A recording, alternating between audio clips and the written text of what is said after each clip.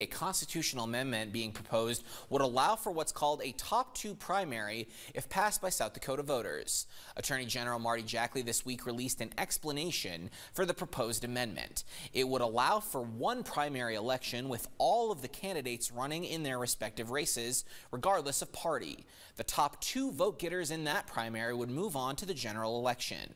This rule would apply to the offices of governor, state legislative seats, county offices, U.S. Senator, and U.S. Representative. The amendment requires more than 35,000 petition signatures before it can get on the 2024 ballot.